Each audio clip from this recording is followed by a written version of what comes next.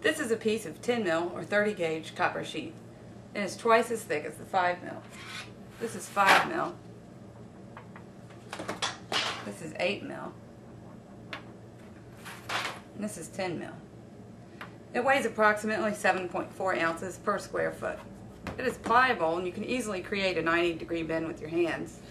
It can be cut with heavy duty scissors or utility knife, but it's thick enough it will begin to hold weight and maintain shape significantly better than the lighter gauges. The 10 mil responds well to hammering and other texturization. This is a ball peen hammer.